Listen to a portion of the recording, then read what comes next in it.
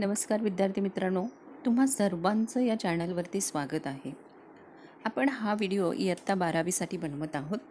तुम्हाला सर्वांना प्रश्नपत्रिका मिळालेल्या असतील आणि त्या तुम्ही सोडवल्या देखील असाल. आणि प्रश्नपत्रिका सोडवल्यानंतर ज्या उत्तरपत्रिकेवरती प्रश्नपत्रिका सोडवली जाते आणि त्यानंतर आता तुम्हाला थोड्या दिवसात ते जमा करायचे आहे.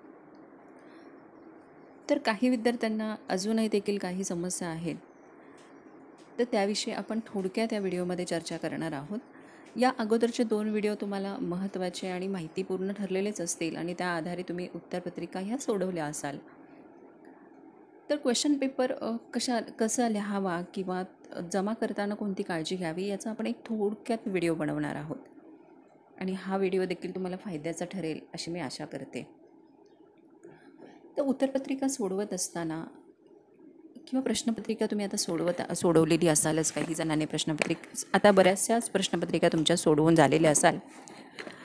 मग बरेच विद्यार्थी प्रश्न विचारतात की मॅडम ही अशा प्रकारे प्रश्नपत्रिका सोडवायची का? जी सोडवले ती बरोबर सोडवली का? नक्कीच या प्रश्नांच्या मागे तुमची काळजी दिसते आहे हे लक्षात येतं आहे.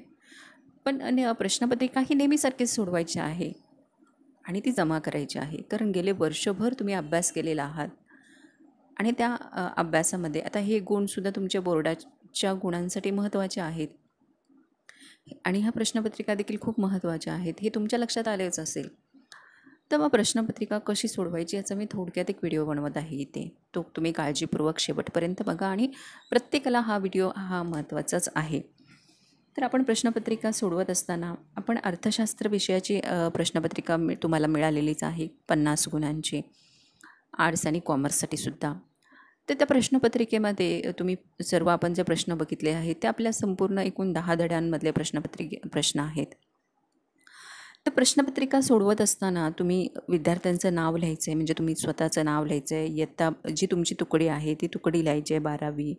जी तुक तुकडी रोल नंबर असेल विषय असेल परीक्षा क्रमांक हा सगळ्यांनी व्यवस्थित आपल्या हॉल तिकीटवरती जो प्र परीक्षा क्रमांक असतो तो परीक्षा क्रमांक इथे लिहायचा आहे.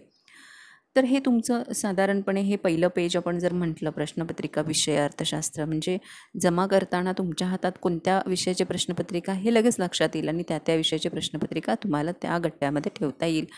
तर तुम्ही प्रश्नपत्रिका आणि विषय लिहा सुरुवातीला पहिल्या पेजवरती.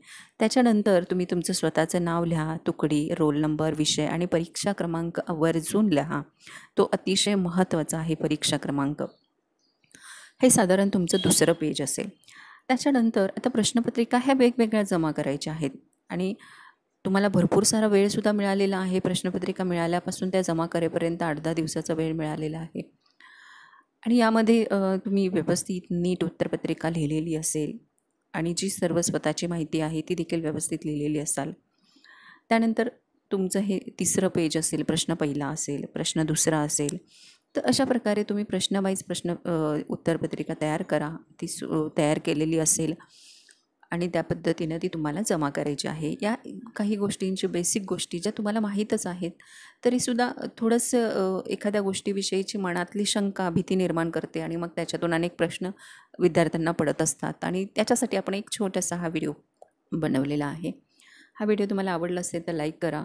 चॅनलला सबस्क्राईब करून ठेवा अशीच महत्त्वाची माहिती तुम्हाला या चॅनलवरती मिळेल. आणि या चॅनलवरती काही वस्तुनिष्ठ प्रश्न आहेत ऑब्जेक्टिव्ह प्रश्न आहेत क्वेश्चन बँकमधले त्याचे व्हिडिओ बनवलेले आहेत. त्याची लिंक मी इथे डिस्क्रिप्शन बॉक्समध्ये तुम्हाला देईलच.